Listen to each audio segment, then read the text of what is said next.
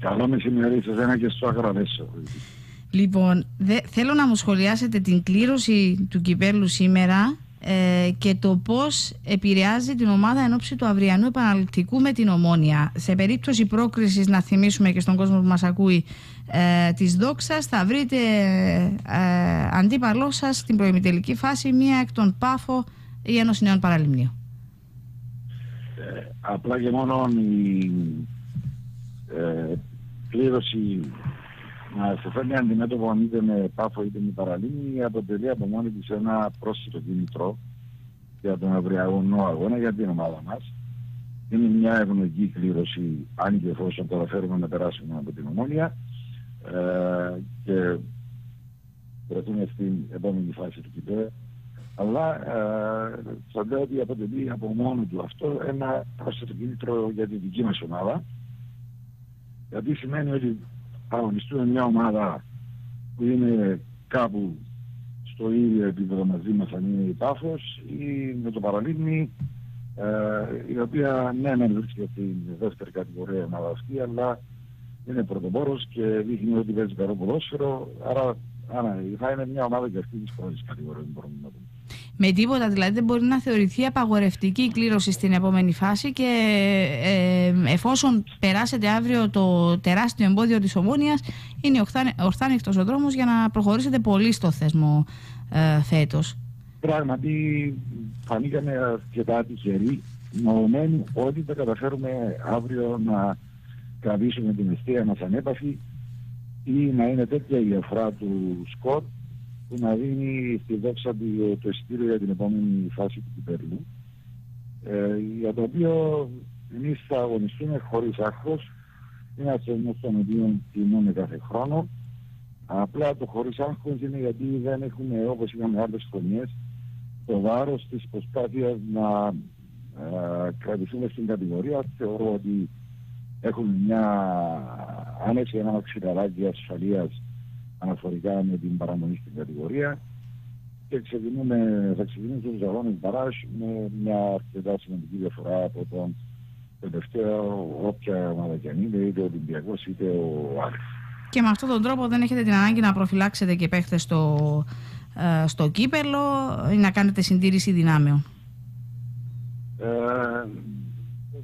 ε, έτσι αλλιώς την ομάδα θα αντιμετωπίσουμε ξανά στον επόμενο αγώνα πρωταθλήματος, δηλαδή θα κινητοποιούμε με την ομάδα ένα σε 10 μέρες τρεις φορές. Τρεις φορές, ναι. Ε, όμως ο θεσμός του κυπέλου, ο αγώνας κυπέλου, ε, το αντιλαμβάνεσαι ότι είναι εντελώς ξεχωριστό παιχνίδι και ειδικά ε, η ομάδα ε, έχοντας πλέον περιορισμένες επιλογές για να επιδιώξει την ε, έξοδο στην Ευρώπη, πιστεύω ότι θα κυνηγήσει με πάθος ε, το θεσμό του κυπέλου για να μπορέσει να καταφέρει κάτι ε, όσον αφορά την έξοδο στην ε, Ευρώπη. Ε, αυτό όμως ταυτόχρονα για την άποψή μου τους φορτώνει και με περισσότερο άγχος σε σύγκριση με την Τόξα η οποία όπως έχω πει και στον πρώτο αγώνα πήγαμε ε, διεκδικώντας με την νίκη αλλά όχι με το βάρος που θα είχε να αν είχαμε κάποιον ποδοσφαιριστή ή ε, επιλέγοντας να προφυλάξουμε ίσως ε, όλους τους βασικούς και μας βγήκε. Ε, θέλω δύο πράγματα, ε, σε δύο πράγματα να σταθούμε. Στο ένα, τι πρέπει να κάνουν αύριο οι ποδοσφαιριστές της Δόξας, πώς ε, πρέπει να παραταχθούν στο παιχνίδι ε, για να μπορέσουν να πάρουν το σκορ που θέλουν για να περάσουν στην επόμενη φάση απέναντι σε έναν αντίπαλο για τον οποίο το παιχνίδι χαρακτηρίζεται ως τελικό. Είπαμε τη σημασία του. Είναι η ευκαιρία της ομόνιας για διάκριση στη φετινή ε, χρονιά το, το κύπελο. Άρα τι πρέπει να κάνουν αύριο οι παίχτες της Δόξας. Παρόλο που δεν είναι της αρμοδιότητάς μας, αλλά εμπλεκόμενος μιας στο ποδόσφαιρο σχεδόν 45 χρόνια, μια ομάδα που βρίσκεται με ένα συγκριτικό πλεονέκτημα αναφορικά με το πρώτο αγώνα, εκείνο που πρέπει να κάνεις είναι τρεξίματα, να κρίσεις χώρους, να δυσκολέψεις τον αντίπαλο για να, να μπορέσεις να αποφύγεις ε, γρήγορα τέρματα που να σε οδηγήσουν στο να ανοιχτείς πολύ εσύ και να δεχτείς ε, άλλα τέρματα. Άρα ε, λογικά θα πρέπει να έχουμε πάρα πολλά τρεξίματα ε, στα αρχικά στάδια του αγώνα και να κινηθούμε με αντεπιθέσεις κατά ενόψη.